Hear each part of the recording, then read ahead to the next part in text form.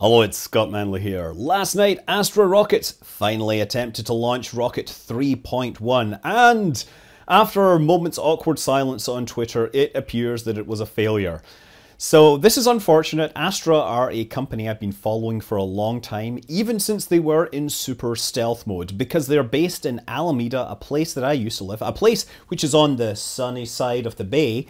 Uh, you know, I've been wanting these guys to succeed, and we didn't really know much about them until earlier this year when they finally started streaming parts of the DARPA Launch Challenge. And we got very slickly produced videos showing their space, their design, their workspace, all sorts of cool internal stuff. But unfortunately, when it came down to it, they failed at the DARPA Launch Challenge due to weather. They had to scrub. And to be fair, this was Alaska in the middle of winter. Now, with the challenge over, they sort of retreated a little back into stealth mode, although they have, to their credit, been bringing uh, uh, John Kraus, rocket photographer extraordinaire, up to Alaska several times to shoot some amazing photographs. Not all of the amazing photographs are of rockets, but anyway. Yes, so they had Rocket 3.0, they continued to work with that, getting it ready for a launch, but then they had a pad incident in March, which resulted in fuel spraying out through a valve that wouldn't close, and that resulted in a fire which destroyed that rocket. Good thing is, they had a factory, they had another rocket ready to go. That became Rocket 3.1. The, by the way, they talk about needing three launches to get to space. This was supposed originally called Rocket 3, 1 of 3, but it was also well known they had had two previous suborbital launch attempts with a slightly different design. And both of these were intended to be suborbital, but they were more suborbital than the people would have liked. They suffer from engine failures and fuel leaks and various other issues. Anyway, yeah, Rocket 3.1, they continued to work with it. They took it down uh, for a couple of launch attempts. We've seen videos of full static fires to show that it works. Uh, but they had a couple of failed launch attempts, partly due to weather, partly due to ground issues. And last night they finally had everything aligned and they were live tweeting it. Yes, it was unfortunate that they choose not to live stream these events. They are highly experimental and I sort of understand their aversion to sharing their failures with the world or potential failures with the world. But yeah, I mean, they, they are streaming this internally to their employees. They're just not letting anybody else see it. So yeah, we got a t- countdown on Twitter, some nice pictures, and the launch call out, and then silence. And of course, people start speculating as it gets past like a minute or two. There's no updates on this. Uh, there was no, since I said myself, there's no MECO call out, I'm calling this a failure. And my question was, did it move beyond the launch facility? Because we know that the first two launches they attempted both ended up landing inside the Kodiak launch facility grounds and had to be cleaned up. That was one of the ways we were able to track what Astra was doing because there were public documents to document the cleanup of this nature preserve. So yeah, um, they did confirm that it was a failure. They did show us a beautiful photograph taken by John Kraus. Uh, I think there's no other place I think you can see anything like this with the uh, the heat haze, the thermal distortion caused by all that exhaust plume. That is that is a very very nice picture. Unfortunately, the rest of the flight wasn't nearly as successful. About an hour later, we had members of the public that were local that were observing this themselves. And it looks like these are both cell phone videos in vertical mode, but I forgive you for the vertical mode because it is a rocket going up. And, and yeah, both these cases, they show the rocket going up, the engine stopping, and then about 40 seconds later, there's an explosion on the ground. I'm going to say the first one the, that has some great commentary by just members of the public that, you know, like to see, want to see a cool rocket launch. and it's just all very natural. You know, should we go help? No, we. I think we have a baby. oh, it's beautiful. I love it. I love it. So what we do also see is that in the second one, which was closer, about a mile away by the looks of things, they you can actually see the rocket spin out after the engines get shut off because there's nothing to keep it stable.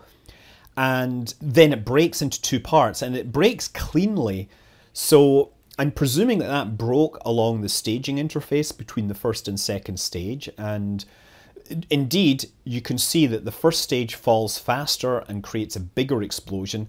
The second stage creates a smaller explosion, which you probably don't even notice. The whole thing, yeah, I, I figured out it. The engines were firing for about 25 seconds, and then it takes about 40 seconds for the booster to fall back. And if you completely, if you imagine there's no air resistance, that puts the peak speed at about 150 meters per second and an altitude of about 1800 to 1900 meters. But there's definitely air resistance involved, so these values are necessarily lower just due to the laws of physics.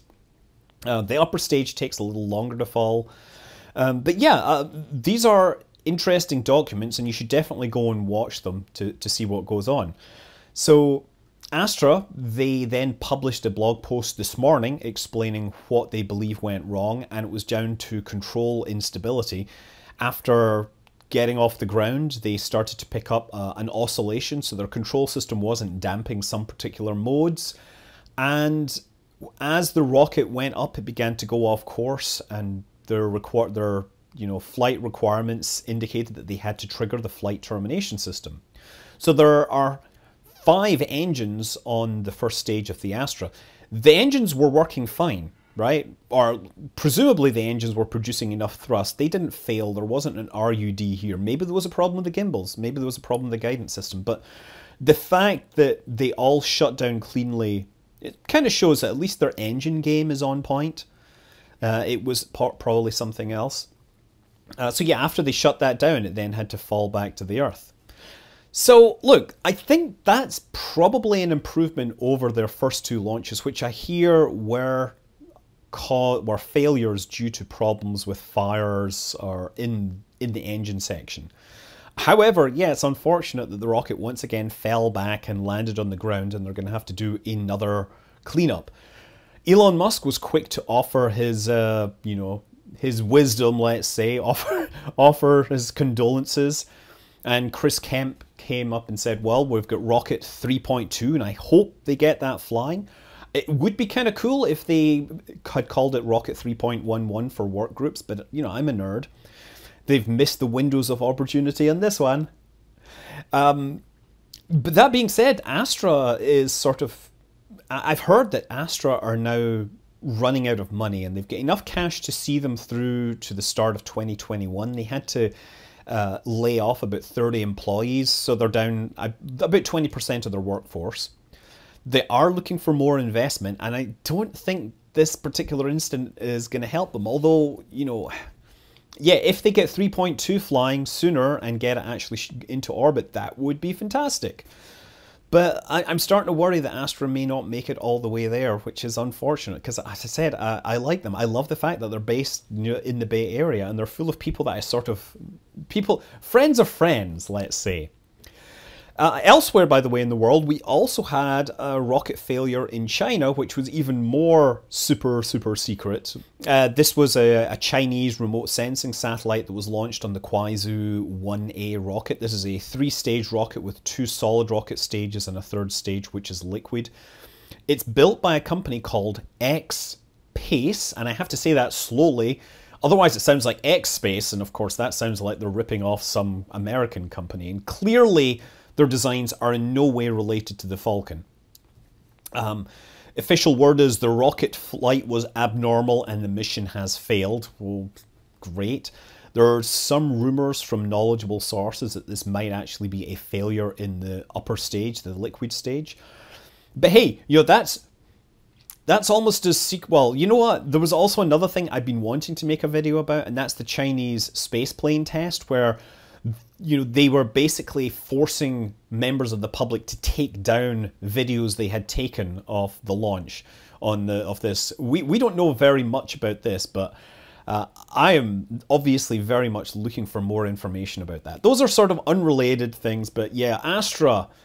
I hope you do it. I hope you launch because uh, you know a Bay Area dude. We're looking, we're rooting for you here, right?